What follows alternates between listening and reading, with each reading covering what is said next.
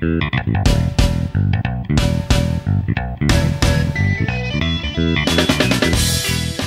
Chris Preston. And I'm Brad Simmerman. And welcome to Street Check, the best podcast in the 50 plus year history of Cabot Wealth Network. Uh, we have lots to get to today. Um, so uh, we're going to f- uh, bypass our usual uh, defend the take. Um, we're going to leap right into our big three. Uh, Brad, tell people what uh, we're going to talk about and then who our guest is we be, we will begin with the market hitting new all-time highs on Wednesday yesterday. If this comes out today, which I suspect it will, we're uh, recording a little bit early. Then we're going to talk all things Nvidia, upcoming stock split, uh, the biggest top signal I've ever seen, usurping Apple at number two, uh, largest company by market cap. And then we're going to talk about Mexico, the Mexican stock market sell-off, pace of weakness, what happened there. And then we'll be joined with Tom Hutchinson of Cabot Dividend Investor and Cabot Income Advisor, and we're going to talk dividends and dividend stocks. And if we have time, we'll we'll talk NBA Finals, which is a big deal here in New England uh, this year, at least. Um, okay, let's. Uh, so yeah, def- no defend the tech. It was supposed to be your turn, Brad. So you're off the hook, uh, which um, I'm sure is a relief to you. Uh, but number one, the big three uh, market is at all time highs. Remember how negative we, but usually I'm Mr. Positive. Uh, I'm the optimist on this on this podcast, but I was. We went through. Would we pick ten stocks to buy, sell, hold for the next year, stocks and sectors? And I was I had more sells and fewer buys than you. I was like, man, maybe I'm getting bearish. Well, things have changed in a week, less than a week, um, and the market is at all-time highs. Uh, the Russell 2000, as you noted, um, which is small cap index, uh, was up one and a half percent yesterday. Um, and that's something that's really been lagging, as, as I discussed with Tyler Laundon on here a few weeks ago, uh, showing that it's not just, you know, we'll get to Nvidia. It's it's a big part of it, uh, not just Nvidia and other Mag Seven and AI stocks. Seems like you know other other uh, sectors and um, pieces of the market are, are joining the rally. Um, but again, it's just one week. Um, seems like we've kind of been alternating every week for the last few weeks. You know, markets at all time highs, everything's fine. And then, you know, a week later, is that, are we in for a longer correction? And hey, the market actually hasn't budged in two months. Well, now it is at all time highs, you know, barely. Um, what's your take on the latest sort of uh, move in this schizophrenic market? I think we've hit a little bit of a tipping point uh, insofar as Bank of Canada cut rates yesterday, European Central Bank cut rates today. The Fed is on the docket to probably cut rates in September. I mean, maybe we get a surprise cut in July. I wouldn't bet on it, but yeah. I don't know. It's sort of a wild card.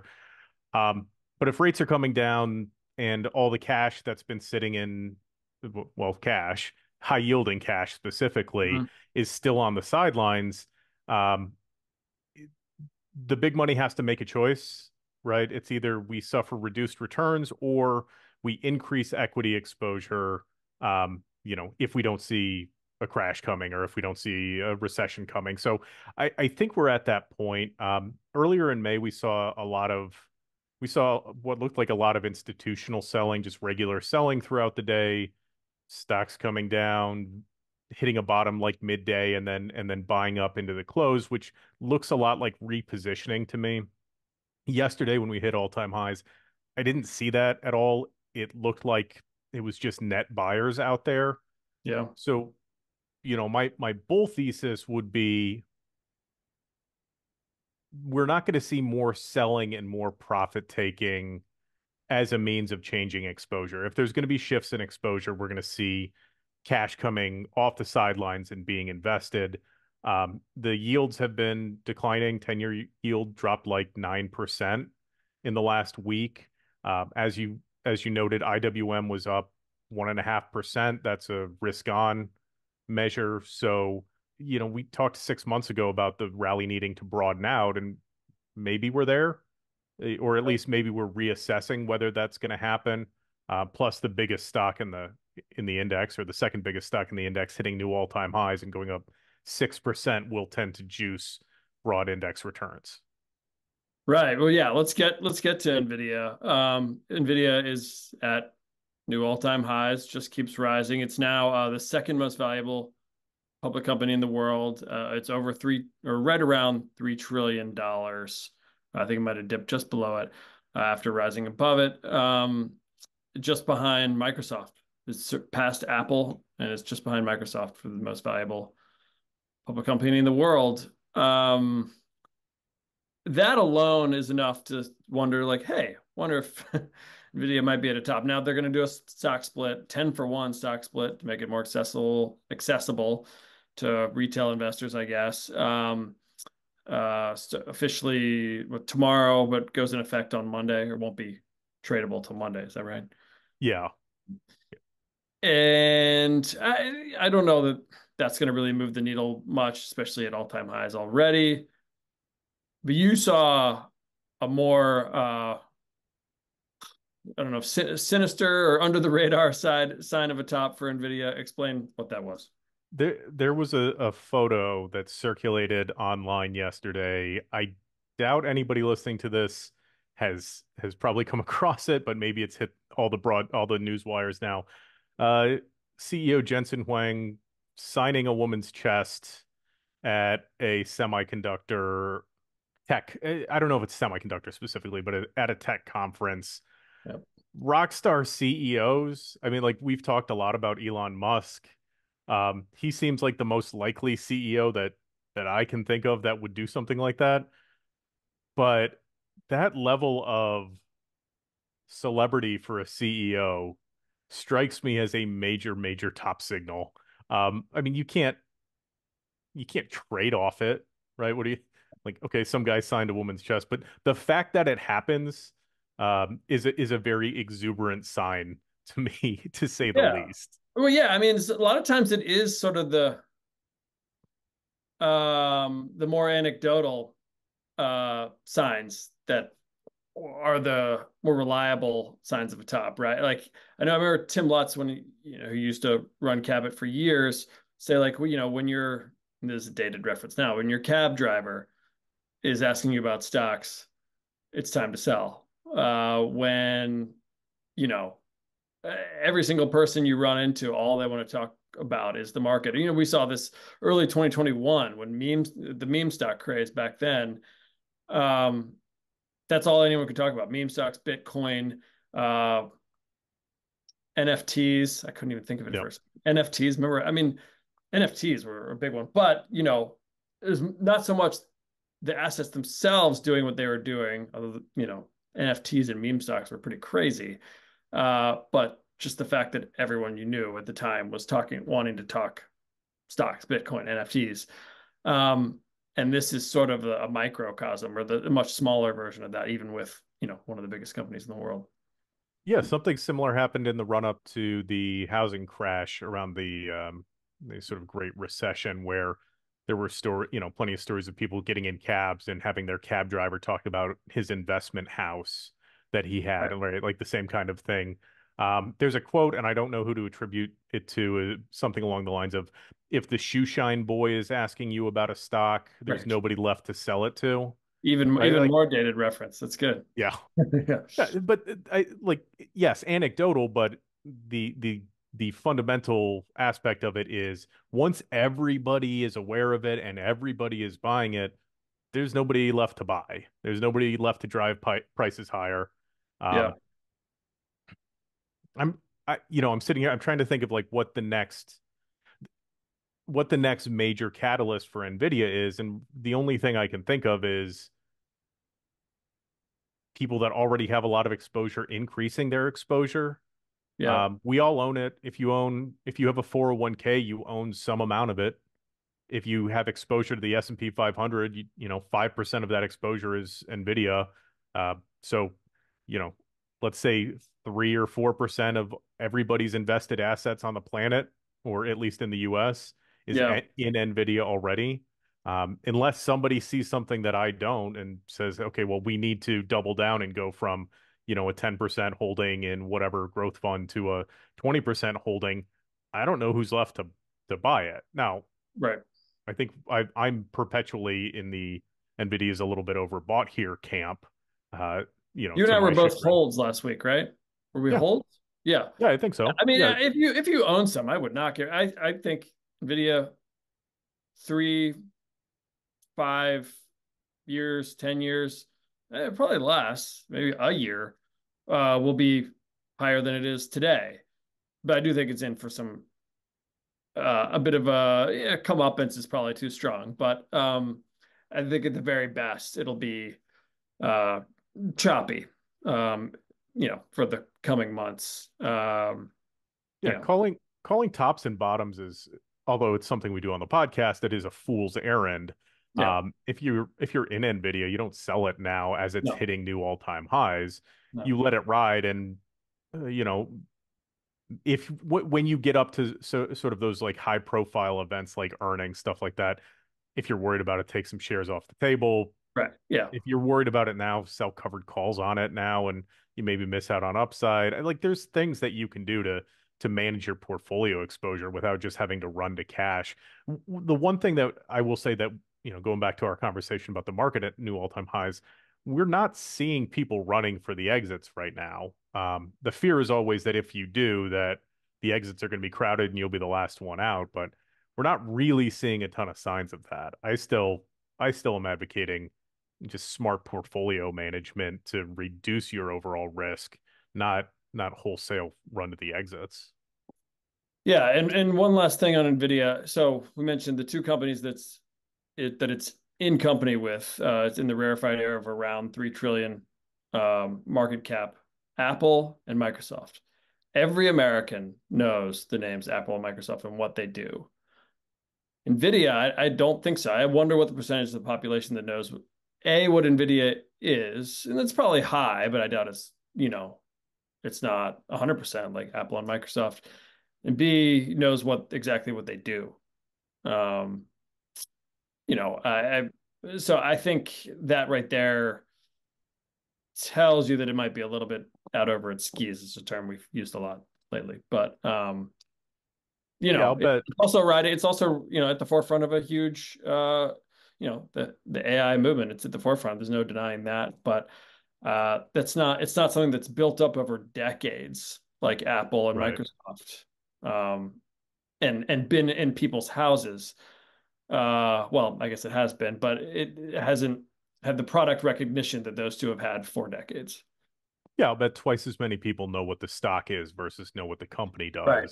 Yeah. Um, you know, I I think I've mentioned before when I was in high school, I used to build PCs for myself, and it was always AMD graphics cards or NVIDIA graphics cards. Let's keep going.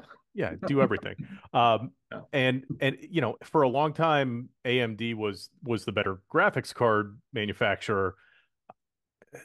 It's NVIDIA lives or dies based on the AI thing. If if AI is transformative and it it's in everything there's there's a world in which every single server on the planet has some like NVIDIA GPU that's hmm. running this little sort of small self-contained large language model that's delivering like AI services. Um, that's not my expectation for it. I, I I continue to think that we are at peak hype for AI as a te- not not even AI as a technology. Large language model driven AI as a technology seems to be at peak hype, and now we need to see if it monetizes. And if it does, NVIDIA becomes the most valuable company on the planet. Um, yeah. If it doesn't, I don't know what NVIDIA is worth at that point. Right. Um, okay, let's move on. Uh, number three in our big three. Uh, Mexico just had its held its uh, presidential election and elected a new president, first uh, female uh, president, uh, Claudia Sheinbaum. Am I pronouncing yep. that right? Um, and and its stocks sold off to the tune of about 10% in a matter of days, but it's recouped. It's already recouped uh, most of those losses. Um, eh, I, takeaways, I don't, I guess, does she, the concern with her being elected is that she's maybe a little bit less business friendly uh, than her predecessor. Um, but is this just similar to what we saw when Trump was fir- first elected in 2016. Now he wasn't accused of being um, business unfriendly, but he was an unknown, just like she is an unknown. And remember, futures tanked overnight, but like they bounced back by the end of the, his first day after being elected, they were up and then continued to go up. Are we seeing something? You know, this took a little longer here. Are we seeing something similar where it's just the, regardless of country, a, typical post-election um, overreaction, uh, especially when there's an unknown candidate who was just elected? It certainly seems like it. The The fear, as I understand it, is, and it's it's kind of something we talked about when we were talking about the election year cycle, is that they have enough power now in the government that they have the the ruling party, so to speak, will will be able to enact constitutional reforms, right? Uh, their entire government is aligned politically in one direction, so you can you can implement sweeping changes in a way that if you've got opposing party control of branches of government, you just can't do. That adds an uncertainty. Um, I think a lot of big investors were net long Mexico because they've had such such strong economic growth with the nearshoring push from the U.S. You know, Mexico, I think, uh, took the number two spot for our our trading partners uh, maybe earlier this year, but manufacturing activity has been been solid there. Uh, so it's very much a a fear response, and I think that's why we've seen the bounce back that we have. She Sheinbaum has has sort of promised to continue her predecessor's economic policies, so friendly with the U.S., continuing to uh, build on our manufacturing relationship that we have. I don't really see a material difference between the incoming administration and and the predecessor. It seems honestly like an overreaction and probably business as usual. Yeah, um, I, I don't. I won't pretend to know you know much about the policies her policies versus the you know previous yeah. regime's policies there you know i don't know a whole lot about mexican politics what i know is you know i think mexico is a fairly intriguing place to invest uh, because as you mentioned it's you know its prominence as a trade partner and because i think as carl delfeld our, our global investing expert has cited when we had him on here a, a while back um, how cheap manufacturing is there and why companies want to go there. That's why companies want to go there. And you know, he's had some one or two stocks in his portfolio in the past year, Mexican stocks in his portfolio because of that. Um, Mexican stock market is up. Um, EWW, which is the ETF that tracks it, is up 44% in the last five years. You know, not too bad. Um, I don't think a new president changes that narrative or trajectory at all. So, you know, I would say goodbye the dip, but I think the dip is already already yeah. passed. So uh, I guess this doesn't really move the needle much for me in either direction. I think Mexico's still, you know, a fairly intriguing overseas or you know outside U.S. borders play, um, and it, it was a week ago, and it still is now.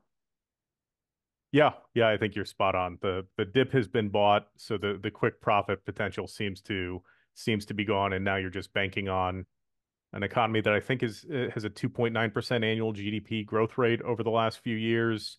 So relatively strong economy that has an incentive to continue providing inexpensive manufacturing. I mean, that's that's a concern is that if you start implementing wage increases and stuff like that, that maybe some of the bloom comes off that rose. But it's been such a driver for the Mexican GDP that I can't imagine whatever the political inclinations are that you're going to uh, slay the golden goose, so to speak. So I, I don't think it's a big needle mover. I think the quick profits are gone, but I, I also don't think it makes it a, a bad position to be in. Uh, Mexico in general, that is.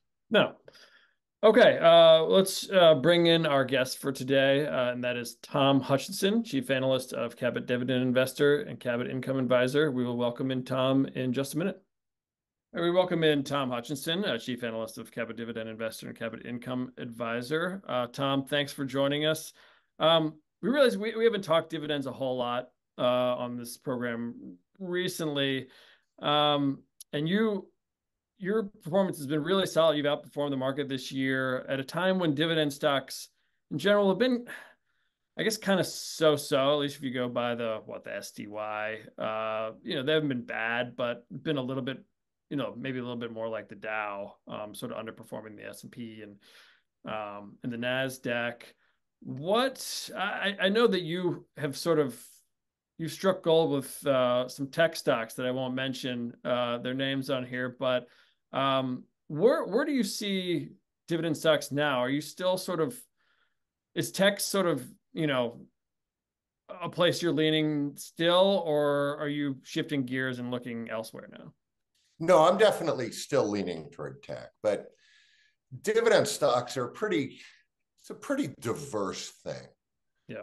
And and when dividends, you see dividend stocks kind of lagging.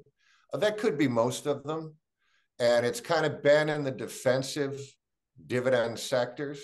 Mm-hmm but in areas of technology, obviously, um, healthcare, uh, specialty REITs, uh, energy, they've been doing very well. Yep. Now, one question that I wanted to ask, and I, I think probably getting this out of the way up top is is a smart move. Um, dividend stocks versus funds.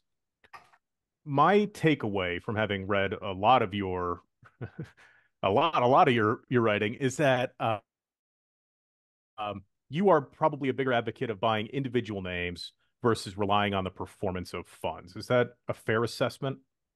Yeah, I am because I've been doing this for decades and decades.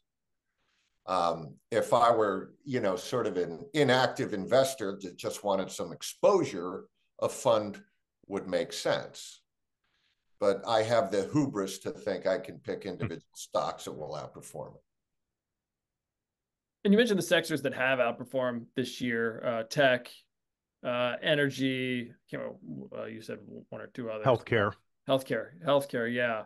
Um, so is that kind of you stick in with those as sort of a you know striking while the iron is hot. I know you've mentioned healthcare is sort of a an evergreen dividend sector because the aging of the population is a thing that's not affected by the Fed or inflation or recession or anything. Um, that's sort of your evergreen one, uh, sort of like you know, and energy oil prices have dropped off a bit, but is that do you think that's uh, are you sort of bullish on that just on the premise that you know oil prices are, are likely to spike, especially as we head into summer? Well, yeah. Um, as long as we can stay away from a recession, yeah, I think they'll be okay. And it's a nice hedge for any escalation in the Middle East. Mm-hmm. Um, but also, what's doing very well this year are utilities. It's actually the second best performing sector on the S&P 500 right. outside of technology. Um, and the reason is they just got so cheap and they've been so neglected and hated for so long that they had good yields and uh, recession resistance, um, and investors have been coming back. So that's probably more timely. It has momentum, uh, that and technology uh, right now, where the momentum is.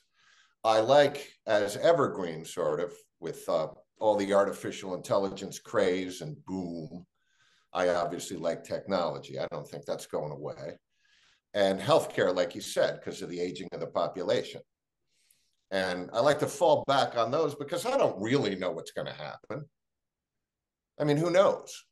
Um, but it doesn't really matter. The population's still going to age. Companies are still going to invest in the new technology as to not be left behind. Um, so you're kind of uh, immune uh, to market preferences in the intermediate term. It seems like we're reaching a point now, and I know people have been calling for for for a long, long time, and you you have not weighed in specifically on on trying to predict the future, uh, but it seems like we're getting to a point where the Fed is gonna have to cut rates. Uh, you know, one of the things that I have posited to Chris is that we are potentially in an environment where, regardless of what inflation looks like to the downside, uh, or I'm sorry, regardless of what inflation looks like, the downside risk recession is going to prompt rate cuts. Um, the upside risk inflation seems to be cooling. Are you largely getting into the rate cut camp? Are you repositioning at all based on what you're seeing for the Fed, or are you just steady Eddie? no, I'm, and... I'm out of the rate cut camp. I'm an enemy of rate cut campers. I, I don't believe it. I mean, look, um, inflation is still too high, uh, 3.4%. Now, that may sound like nothing. They would have killed for that in the 70s, but it's not measured the same way. Yeah. Using the old measurements, probably closer to 8%. And this is after rates rose to near 20 year highs. So it's problematic still. And the economy, at least so far, is pretty strong. The projections for second quarter growth are what I've heard in the twos. So as long as that's the case, um, you know, inflation is hanging around and annoying with rates this high. I don't think the Fed's going to want to risk lowering rates and having inflation hang around for the rest of the decade, especially since it's partially their own fault. I think was that was it Tyler that was on uh, Chris with you when I was out that was in the same same boat saying no rate cuts from the Fed. Yeah, that he that was more just a prediction for him. He said no cuts this year, which I first I'd heard. I guess so. You're that's what you said you thought they should do. What do you think they'll do for the end of the year? I don't think they'll cut rates unless things materially change. Okay. If third quarter growth is 0.3%, that'll change the story. Right. Yeah. Um, but aside from that, I don't think they're going to cut the rates. And yeah, and I, on here have been. We thought it was so, semi crazy at the beginning of the year, or I guess heading into this year, and you know, some people were expecting six rate cuts. Who was it that that predicted that? Was that Goldman Sachs? Can't remember. Right. J.P. Morgan. J.P. Morgan. Six rate cuts starting in March, and we never thought. I think Jacob, you know, Jacob Mintz, our options trader, all were like, that, "There's no way." And you know, while I didn't necessarily think it was going to be pushed back to September, which is seems to be what people are thinking now, uh, the amount of rate cuts that were predicted seemed crazy to me, and it seems like that's why part of why some of the air got let out of the balloon in the market in April and I guess second half of May is just people coming to the realization like, oh, they're not cutting as fast as or as early as we all thought. Yeah, absolutely not. And there's, there's another motivation that um, people might not be aware of. Inflation has a long history of being notoriously a pain to get rid of. Mm-hmm. And you have to err on the side of fighting it. Now, right now, there's no erring going on at all. But even if that comes up, they're, they're much less likely to cut for that reason. And, you know, the Fed doesn't want to be brought up in, you know, business school classes as you know what not to do and how to react to it you know? Right. Uh, so i think they're pretty motivated to keep them here. And like i said unless things materially change they're not going to cut them and i think the market has to come to terms with the fact that rates are unlikely to go down or go down with any significance without economic pain is that changing your outlook on on your positioning at all? I, I mean, I know you've been in this camp uh, for a while now, I think, but it, it, have you changed, or or are you eyeing some point in the future where it's like, all right, well, I'm I'm going to have to start repositioning the portfolio. I'm going to look for something where I think there's maybe a missed opportunity or where the market is mispricing those risks. Yeah, and I think we just had that in the utility sector. Uh, and as we tango on, I think sort of sideways, likely for most of the summer, I, I think you'll see opportunities uh, in other areas. Uh, but the most recent one has been utilities and, and the more conservative dividend stocks, which have come alive again in a pretty big way. Um, so that's that's what I've been eyeing recently as an opportunity of mispricing one of the beauties of dividend stocks um, is, you know, not, not just the dividends themselves having, you know, certain amount reinvested if you're reinvesting, uh, reinvested into the share price quarterly, but the companies that are able to pay those dividends are companies with a lot of cash and companies that sort of stand the test of the time. And what's always stood out to me is um, you at our uh, our Cabot conference, subscriber conference a couple years ago, um, put up a slide during your presentation of five stocks, five dividend stocks, if you had invested $10,000 in each, uh, what they would have returned over 10 years. Every single one of them, uh, at least more than doubled, uh, all but one tripled um, with the dividends reinvested. And they're all household names Home Depot, Pepsi, McDonald's, Visa, Eli Lilly. And is this with dividend investing, is it sort of less complicated than just, you know, playing the hot trend if you're purely a growth investor? You so like what are the good what are the good companies that pay dividends consistently, grow dividends consistently? Buy those, they'll probably do well the next 10 years.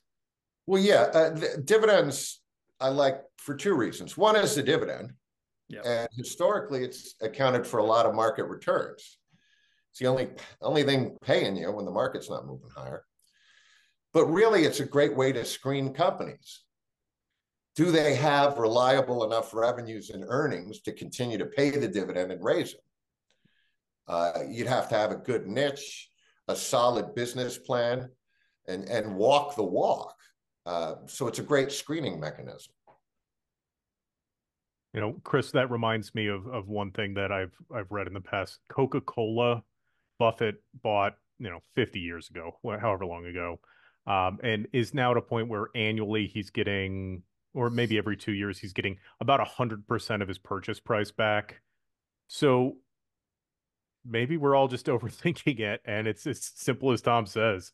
The companies that think they're strong enough to to pay out dividends to shareholders are probably the strongest companies. The dividends are going to pay you if the market moves sideways or even if it moves lower. And if you invest over a long enough time horizon, that's all you need it there, there's a lot of truth to that. And i think you win in the division in the uh, dividend realm by not losing big. And if you get invest in good companies that have paid reliable dividends that's highly unlikely. And over time the dividends continue to roll in uh, they come back in favor and they continue to move higher.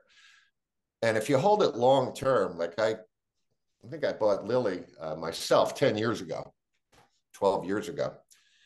And um, my yield at cost is like 15%, even though it's only paying like a 0.6% yield yeah. of the shares. Right. Now, do you have any steps? So you just said um, the thing that you need to avoid is losing big. Do you do you ever have like position sizing uh, steps that you take where it's like, all right, well, I've had XYZ stock for 15 years. It's now 20% of my portfolio. I'm going to start paring this down. What do you look for as a signal that uh, it maybe is time to reduce your exposure or do you even worry about that? Yeah, that's that's complicated because there's no exact answer. I don't apply one formula to it. Um, yeah, if you want to balance the portfolio and it becomes too big a part of the portfolio, it definitely makes sense to just pare down a little bit. Um, and, you know, you have to look at what the fortunes are going forward and the price um, and all that, or it's kind of, maybe it's going to go out of favor for the next year. And a host of reasons you might cut it loose or pare down the position. Yeah. Uh, in my most successful positions, I've I've pared them down just because they got so high priced. Right. And do you do like I know in our growth advisories, my you know Mike Cintolo uh, has sort of a quick hook. He'll do fifteen percent uh, loss limit in bear market, twenty percent in a bull market. Do you have like a hard and fast loss limit with your stocks, or or because their timeline is they have a sort of a longer timeline? Do you do you let them? Do you give them a little bit longer leash? I, will give them a little bit of a longer leash because most of uh, most of the stocks I buy, I've been at it for a long time. I have followed them for a while, and I kind of know their behavior, and what's a red flag and what isn't. Um, if anything's down ten or fifteen percent, I'm going to watch it pretty closely. Yeah. And unless there's a good explanation for it, uh, I'm probably going to cut it loose. But there usually is, and sector's gone out of favor. The selling's been overdone. Yeah, we were talking about seeing that with the Mexican stock market just the other day, right? Like drops 10% essentially on no good reason and quick rebound. Um, and as you said, if you're screening for high quality, if you're using dividends to screen for high quality companies, your sort of catastrophic downside risk is very, very limited. So it's all going to be sentiment risk that you're experiencing, um, especially if you're looking at a long term or e- even maybe an intermediate term time horizon. Yeah. I mean, unless the story is materially changed, which sometimes it does. Yeah. Yeah. Well, Tom, thanks for for joining us today. And again, um, if you want to read more from Tom or subscribe to either of his newsletters, I highly recommend it. Uh, Cabot Dividend Investor and Cabot Income Advisor. They're similar, but Cabot Income Advisor has a covered call portfolio, um, which is uh, almost 100% winners, I think, from what I've seen. But yeah, I mean, I've, um, you know, just anecdotally, you know, I, I'm editor in chief of Cabot, so I see. Uh, everything that comes in and people the marketing team will ask me you know what's doing well what's doing well and during the bull or bear market 2022 early 2023 it was almost uh, every single week i'd be like well we could go with tom's stuff because that's hanging in there and i guess that's well a you're really good at this and been doing this a long time but b that's sort of dividends are resilient they're you've outperformed this year in a in a bull market and they sort of hang in there and do just fine in a bear market. And I guess that's the my way of sort of promoting your your newsletters there. But they're Thanks. CabotWealth.com. Uh, you can find them under Premium Advisories, Cabot Dividend Investor, Cabot Income Advisor. I recommend either of them. Uh, Tom, thanks again for joining us, and thank you all for listening uh, to this edition of Street Check.